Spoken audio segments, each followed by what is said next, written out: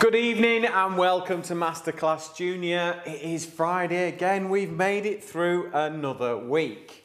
Now I've got a cracking little recipe for you. We're gonna go katsu chicken tonight. I don't know about you, but as a family, we love Wagamamas. We used to go lots and this is inspired by kind of the super popular katsu chicken. It is like their best selling dish.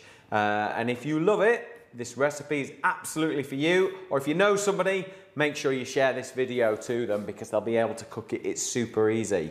Um, we're going to serve it with some broccoli, which isn't on the ingredients list. This is just something I had a look through the fridge. I thought I'll serve something with it. Um, so it's just a dead simple dish. So we're going to actually roast some broccoli with some garlic. Really easy. So, Pops, let's get the foil.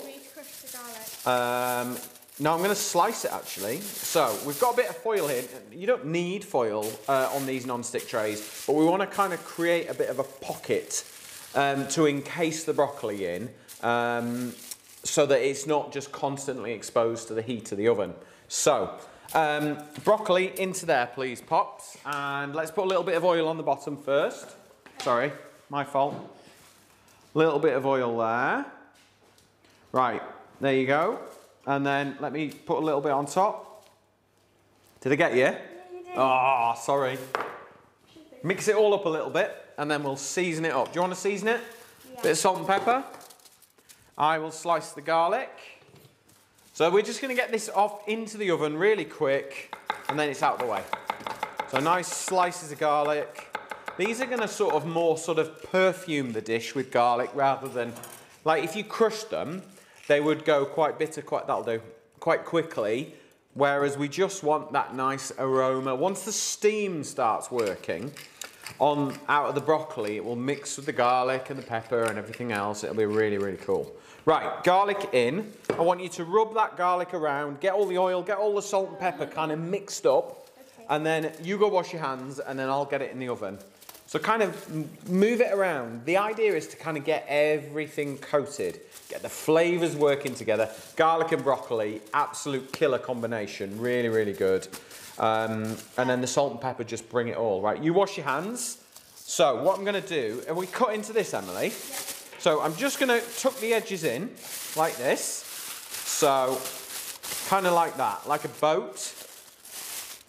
And I want to open it, some of it out, but kind of encase it at the same time. So there's a bit of protection, but some of the bits will roast and go a bit gnarly. So pop that in the oven, Pops. And we will talk rice. Now, let's get the pan on first. So, to make some rice, we're going to serve our katsu chicken with rice and peas and soy sauce. I have exactly one mug of rice here. We're going to cook this based on the absorption method, okay? So, Pops, One. one mug of rice And two cups of water. and two mugs of water. Doesn't matter what size mug or cup it is, just make sure that you're on a two to one ratio. So, um, usually I would always say like a little six ounce coffee cup is one portion, about 60 grams, they reckon. Oh, here we go. So we, we've got four of us in our family, so we've got, you know, we've got about 100, 220, 30 grams of rice there. Um, and then we're going to get it on the heat, get it going nice and quick so that we can concentrate on the other things. Okay, right, here we go. Could you have got any more water in there? Look at the concentration. Oh, well done. You made it. Give me that. Show them your tongue. No. Go on. She has had the bluest sweet or something you have ever seen. She'll show you in a minute. Right, let's get that rice on. So let's just move that over there because we will use that pan soon enough. Leave that there. Right, so in our house, um, we have one vegetarian and three meat eaters. Okay, so we're doing um, some chicken, but we're also going to do cauliflower as a sort of panko crispy breadcrumb dish. So we're going to start with our cauliflower first. Emily's racing round. Again. Do we think, is she all right? Is she happy today? She's smiling. She's checking woman- cameras. She's woman behind the camera. yeah. One day she will appear. Right, so we're just going to cut florets off. That's what they're called, Pops. Like Did you know that? Like broccoli. Yeah. So, how many will Mum eat, do you think? A few. Five? So you can make them smaller and you can make them bigger, but you need to remember they need to all cook at the same time. I would do that many. Do that many? Yeah. Is that enough for Mum? I think it is. Okay, so what we're going to do is because my wife's a vegetarian, we're going to make those first, and then when they're breadcrumbed, we'll do the chicken. Um, so we need the flour and the eggs bringing in. You need to crack the eggs. I'm going to talk flour with people. So you crack those, whisk them up with a fork, yeah? I'm to talk flour. Okay, so we've got our flour here that we're going to dip our cauliflower in. So I'm just going to season that up because I think it gives a little bit of flavour in the middle, which is nice because actually once they're breadcrumbed, they kind of steam inside, so they don't actually have any flavour, which is why this works really well for katsu because it's full flavoured. Now, to get the flour to stick to our cauliflower, I'm going to run it under a little bit of water. Okay, and that will just help stick. All right? And it's these little touches that really make the difference. Right, are we going to speed it up a bit, Pops? Yeah. I ain't got time to wait for you. Um, Get whisking your eggs. It's all right, it's fine, don't worry. Yeah, Um, Natalie, if- what are you using for seasoning? a little bit of salt and pepper. But what I would say is if you've got any ground onion powder or garlic powder or a bit of smoked paprika, really works. Any sort of flavour like that you can put through there. So if you were wanting to go down the Asian route, you could put a bit of ginger in there, you could put a bit of Chinese five spice, that would work really well. And then you get another layer of seasoning, another layer of flavour, and that just adds to the whole flavour of the dish. Good question, Natalie. Breadcrumbs too. Yeah, we're going to breadcrumbs in there. So, cauliflower into here. Okay? Perfect. Just like that. As Tommy Cooper would say. Just like that. Yeah, but we're doing the cauliflower first. Once the cauliflower's done, then we'll do the chicken. Okay. Got it? Can you turn those around and move them about? So let's bring, these are panko breadcrumbs. So these are like a Japanese style breadcrumb. Basically, they dry the bread out so it's super dry, then they crunch it down. These are really nice blue dragon ones, so they're kind of all, they're quite big chunks of bread, so you end up with really, really crispy pieces of chicken or cauliflower. They're really worth looking out for. If you can't get them in the shops or supermarkets, you can get them online. Quite a few of the Chinese supermarkets are now doing online delivery, so you can kind of fill your store cupboards with awesome stuff that you wouldn't normally get in a, a Tesco's or a Sainsbury's or an Asda. Another question. Yeah. What other option uh, can you have for egg for vegans? Um, you can make an egg replacement with chia seed or flax seed, and I think if I remember rightly, it is a two to one ratio. So, in terms of volume, one part seeds to two part water. And the way that the chia or the flax they kind of absorb and they swell up and they create a similar texture to um, to egg. What you could also use is an unsweetened yogurt.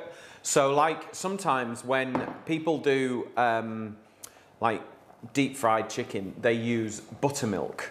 So if you can create that same kind of buttermilk type texture, so you could take um, a plain vegan yogurt, like a, a coconut yogurt, an unsweetened one, add a little bit of lemon juice, let it down a little bit with water, and use that.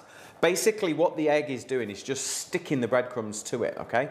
So it's about I, I always find when you're looking at plant-based eating and things like that, it's about changing your approach to what traditionally you always did. So just because it's egg, think about what the egg is doing and work out how to do that without egg. And that's kind of how my brain works when I'm trying to do plant-based cookery. And I do get asked all the time about it, and I'm always I'm always doing projects on plant-based cooking for manufacturers and restaurants and you know retailers and all sorts of stuff. So it's yeah, it's good. It's really interesting. Can you see the breadcrumbs on the? Yeah. You know what she's like, Pops? She likes everything in, in her frame. Okay? So, you move across and I will shake them around, yeah? Like this. Go on, in you go. So, lift the breadcrumbs up like that first. Gives you a fighting chance. And then put some breadcrumbs in your hand and then just kind of roll it around like that, you see? Yeah. And then you end up. And if you see, can you see there, Emily? That white bit, we've missed a bit. Because it's quite hard to get it all on a cauliflower because it's all lumpy and bumpy, isn't it? Okay? Could you do this with like, like a broccoli, like full broccoli? Uh, you can. The thing with broccoli is you, you have to remember it, it's not very absorbent. So you have to try, the key is to try and get the breadcrumbs to stick to it. And it just seems to work really well with cauliflower. So I'm going to pop that straight onto one of our masterclass non-stick trays. It will not stick on these. These trays are amazing. They work so well. Do you want me to do that and you lift them out? Yeah. All right, good job. Brilliant, well done. So, let's just coat these. Have we got any more questions? I'm enjoying the questions firing in. Oh, good, good. What we were talking about on Wednesday as well is in terms of our broadcast time. So at the moment we're doing five o'clock, but we would love to know what the right time for everybody is so that we can either do it live or we can kind of pre-record one for the weekend or, or whatever. But you know, if you've got a particular opinion on when you think would be a good time to do it, please let us know. Right, Pops, go wash your hands and then we'll do the chicken quite quickly, yeah? I'm going to get the cauliflower in while we're doing that. So, I'll just lift this up onto here so you can see the cauliflower. And then just a little drizzle of oil. You really don't need much. The days of needing to deep fry them are gone. You don't need to do that. See how I just sort of shake them around? And then they've all got a tiny little bit of coating of oil on. And that's it. That's all we need. They can go in the oven. Brilliant. Broccoli's looking good. Right, so let's just get, have a look at that chicken before we do that. I would just like to season this chicken up so it's cut into little pieces. Do you want to do the pepper? Again, nice little layers of flavour all the way. All right, doesn't need much. That'll do. Right, I'm going to lift this up and pop this into the flour I'll- and turn that around. So you stay flour free if you can. Okay, because I'm doing egg and bread. You do the egg and lift it into the chicken and if uh, into the breadcrumbs. But if we don't have enough, I'll get some more breadcrumbs. So lift a piece out. Somebody's asked, uh, what What temperature? Uh, well, my ovens are fan ovens. They're new AEG ovens, so that in terms of the heat distribution, it's very consistent. Gone are the days where there's like a hot bit and a cold bit, because at the back of the oven is a fan, and it's pushing the heat outwards towards the oven door and then back again. And they do a lot of stuff about circulating the heat and things like that. So, but if you've got a gas oven, what I would always say is the top of the oven will be hotter than the bottom with gas by sheer nature of it. But electric fan ovens, we're at 180. They'll take about 10, 12 minutes. If you have leftover cauliflower from the previous night's meal, it works really, really well because they're a little bit softer and a bit more tender, but you have to watch the absorption because um, cauliflower can absorb quite a bit of water. You. I'm beating you. You're being me, are you? I'm beating you. Oh, you're beating me. I thought you were beating me. I was got a lot of people say you're a bit too like me as it is. You're losing. You snooze, you lose. Right, so we're just going to roll the chicken very quickly and light of hand, okay? So it's kind of like move it around, just roll it up. You don't want like too much on there, but then you also don't want not a lot on there. You just want a nice coating, move them around. This is great for like doubling up as well, because you can double a batch. I mean, it's quite a big thing to, to do all this, get all these breadcrumbed and everything. So if you're going to do it, do twice or three or four times as much as you need. Um, and then just lay them on a tray and freeze them. And when they're frozen, then put them in a Ziploc bag and then you've got them. And they're so much nicer. That was one of the cauliflower. I know we missed one. They're so much nicer than the shop bought stuff. Two, You know exactly what's gone in there and they're just nicer. Yeah? How many left have we got? Um, Are we going to squeeze them out? Yeah, we are. Right. Okay, so let's get another tray. So this is another one of the masterclass ones. Just a little drizzle along the bottom. Sorry, Emily. For your breadcrumbs, if you had Yeah. like the last few slices of a loaf, like Yeah. Totally. But stick them in the oven or in the toaster.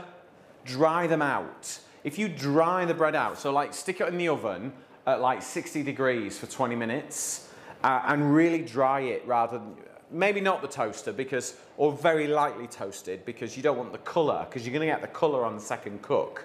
Um, but yeah, dry them out in the oven um, and then blitz them up. Um, or if you haven't got the time but you've got the bread, chuck it in the freezer and just write on the bag for breadcrumbs. Um, and then you can just dry them out from frozen then. Uh, and you're not wasting it and you are actually making a really, really good product.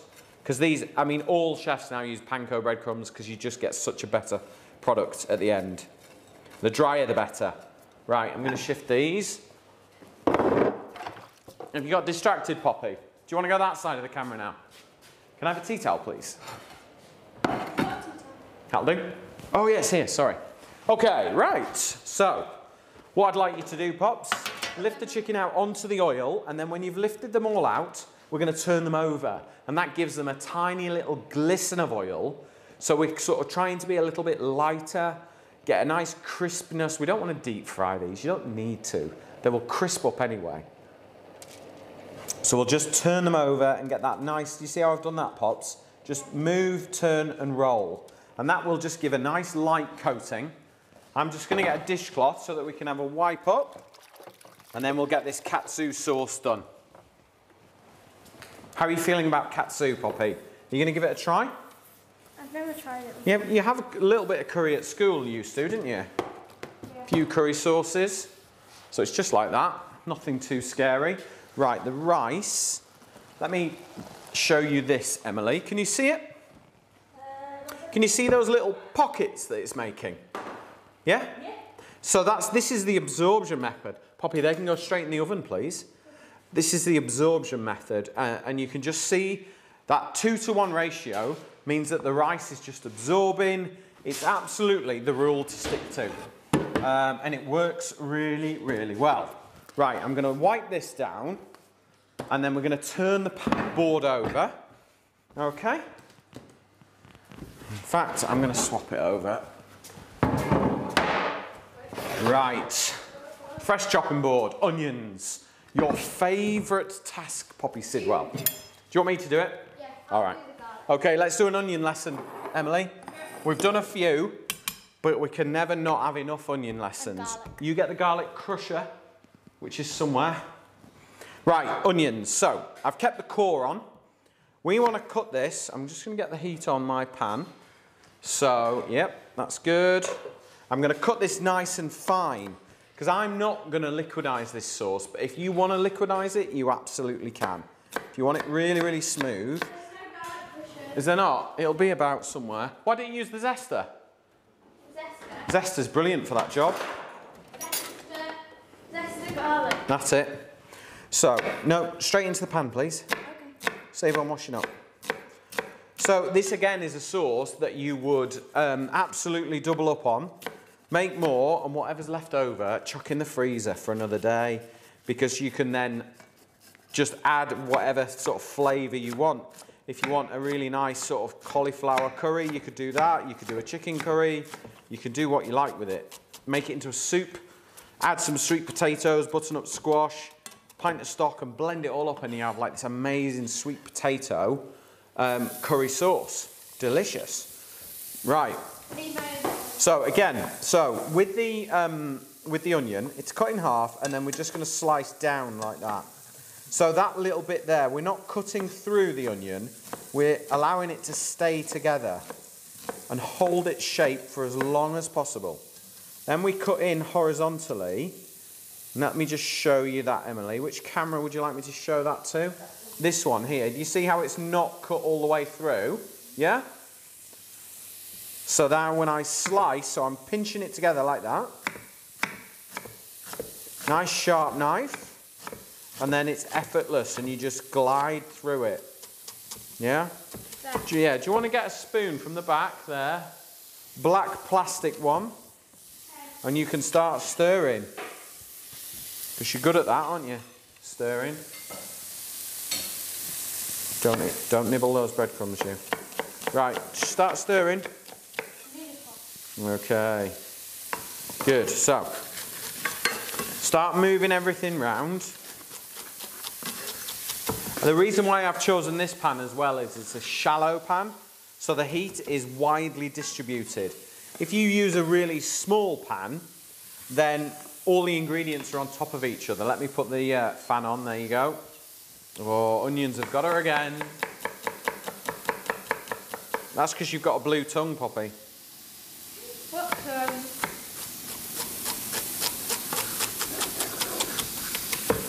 ah, Ah. Right, onions. So that's the last of the onions. So the recipe says one onion, but obviously what we bought were quite small onions. So we needed to double up. Can I borrow that cloth a sec? Oh no, it's all right. There's one here. All right, let's have a quick wipe. You all right? Go and have a piece. Of, go and have a minute. The onions one, Poppy nil. And also the, the oven temperature. 180 degrees, okay? And when cooking chicken, it needs to be fully cooked all the way through. If you have a thermometer, make sure it's 75 degrees or above, okay? And that means it's totally cooked. If you don't have one, get one. Or cut one in half. The biggest piece of chicken, cut it in half. And if that is cooked, everything else will be. Little tip for you there. Right, ginger. Okay.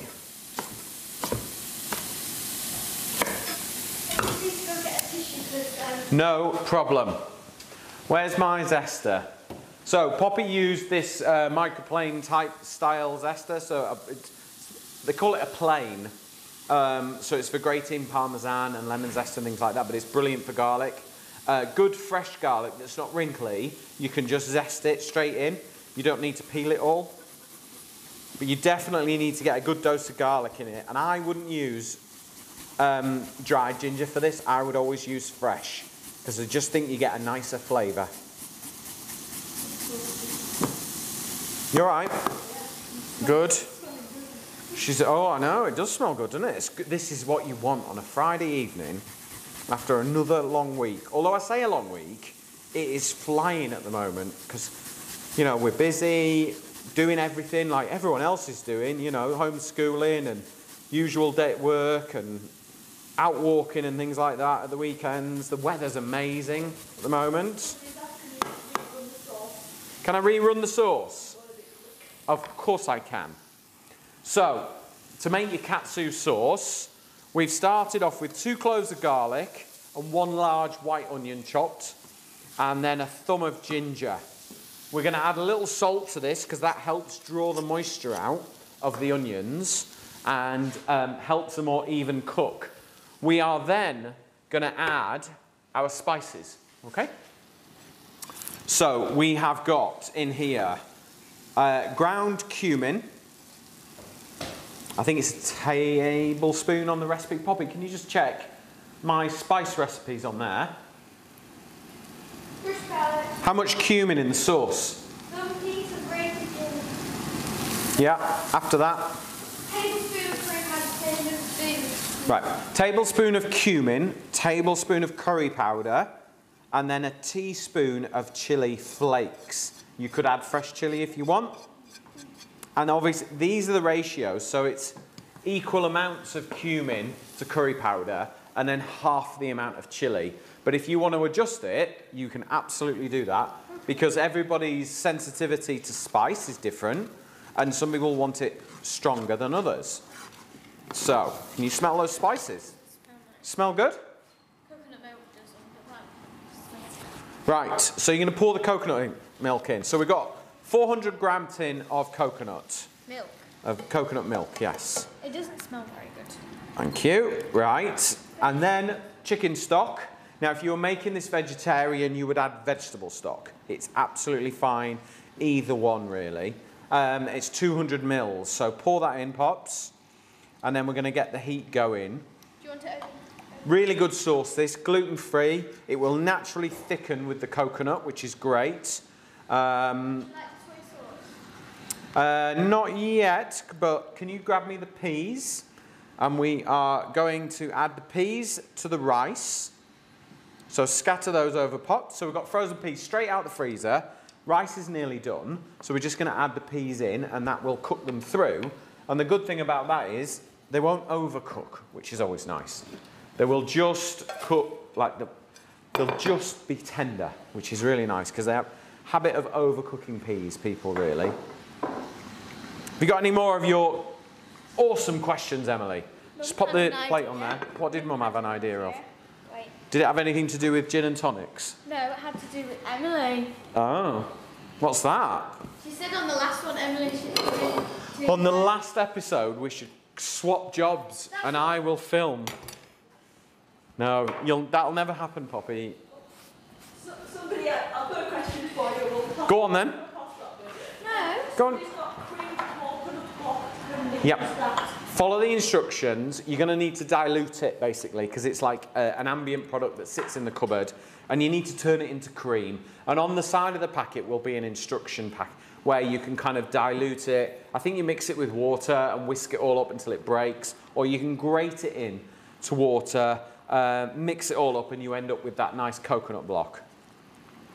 Right, so that is just cooking down nicely. So all you need to do now is simmer that and it will reduce, okay, and thicken. Emily should definitely come on. She that. definitely should. Right, I've lost my tea towel again. Yes, What have you done with it, Pops? You? I, I haven't done anything. Oh, it's here because I cried on it. Told you, something to do with you. Thank you. Right, let's have a little look. Broccoli done. Do you know what the good thing about the broccoli is?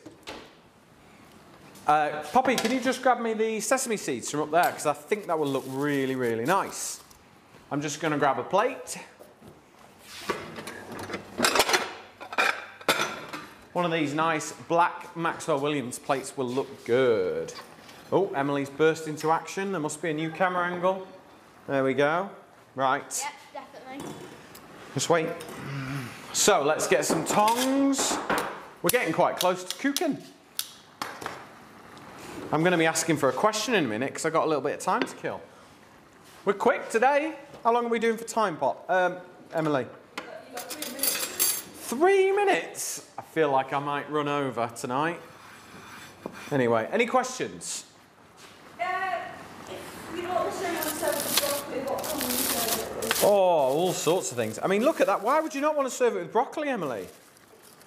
Oh, there's not loads of broccoli in it. So, few black and white sesame seeds on there, just lovely. It'll just make it delicious. It's not essential. If you've got them on the shelf or in the cupboard, use them. But look at those. They look lovely. Smells amazing, like really savoury. I think when you roast broccoli, it changes. I personally prefer roasted broccoli to boiled or steamed. I think it's really nice. Do you want to try a bit? Um, yeah. Yeah? Have a try. See what you think. I need a fork. Okay. Need to get out of my way. I'm not in the way. You are a little bit. So, can you see the uh, sauce is just sort of naturally thickening, reducing, bringing it all together. Such a good sauce, katsu. It really, really is. What do you think? She can't speak. She's got a mouthful of broccoli, which I never thought I'd hear myself say, if I'm perfectly honest. So that's quite a good thing. It's good. It's nice, isn't it? Do you prefer that, or do you like it just boiled? I like both, but I prefer it being boiled. You prefer it boiled, do you? Very nice. Okay, very politically correct answer, Poppy. Well done. There's hope for you yet. Right, so our cauliflower is done, so I'm just going to pop that there. Super easy to do. Right, let's get another plate actually, um, so that we can do mums. You're not exactly working the camera, Poppy. Just sat there eating. right, so we've got two here. So let's move that over. Excuse me. I'm just going to see how the rice. Can you see that, Emily? Yeah. Do you see how it's just cooked up? It's fluffy. The water has gone. It's perfectly cooked. Can you add a little bit of soy sauce to that for me, Poppy? Not too much, please. She's a soy sauce monster. We have to watch her and ration her. Don't we? Go on. It just gives it a little bit of flavour running through it. Okay, that'll do. Don't look at me like that. Right, Can I try a bit? push cam. Rice. Go for it. So you could do this with rice or noodles. I've just chosen to do it with rice today, um, but it could change. It could be either one. Yeah, of course. Juicy cold. Yeah. She's got the power. She's got the camera. You see. Right. the. No, no. Maybe we should do a special Emily episode, pre-recorded. Maybe we'll have to do a Facebook poll out there. See if they want Emily cooking. I won't take it personal. Right. Let's get some broccoli. I didn't just do a little bit of rice from there. That's all right. I'll forgive you. So nice piece of broccoli on there. Got little charred bits. Got some lovely bits there. Really, really nice. The chicken nearly done. Chicken is nearly done, so I'm going to take. You see, let me. I want you to see if you can hear how crispy these are. Look. Can you hear how crispy they are? Yeah. So there we go. That's for your mum. Really enjoyed it. She will enjoy it. I know she will. Right, and let's get the chicken out. And this will be cooked. And again, you can see how crispy. You can hear them crackling and crispying away, yeah? I know you do. I know you do. Right. So- we should just put one. Yeah, yeah.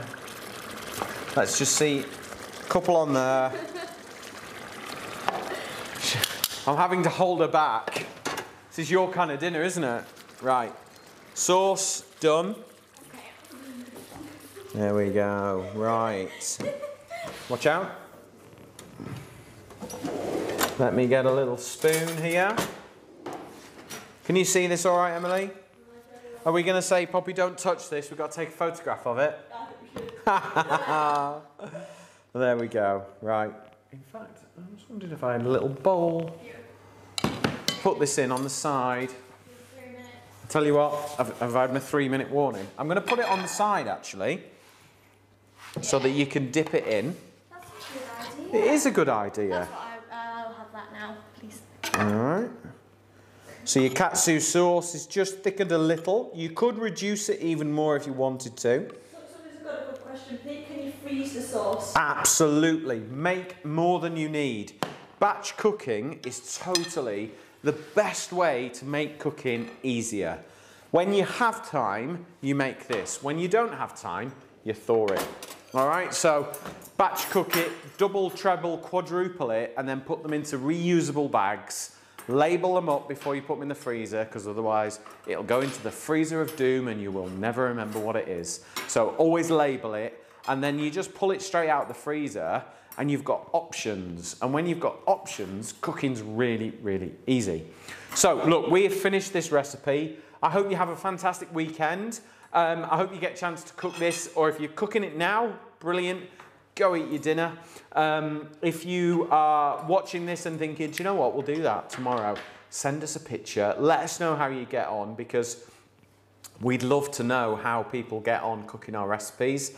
Um, next week on Monday, we will be back. Masterclass UK's Facebook page doing pancakes, but pancakes with a difference. I've got one sweet pancake, I've got two savoury ideas for you, uh, and Poppy's got an Instagram hack to show you with a pancake, haven't you? Do you remember? Where you fold it and cut it? Yeah. Yeah. Um, and on Wednesday, we're going to be making vegan enchiladas that are amazing, vegan or not. You will love them. And then we will be, on Friday, we're doing some tacos for the kind of weekend. So if you get time, please join us. Cook with us if you want to, or just have a go at the recipes when you're ready. But thank you very much. If you need the recipes, go to masterclass.co website and they'll be there. And the shopping list for next week's recipes, I'll be going on the Facebook page soon as well. Thank you very much. Have a great weekend.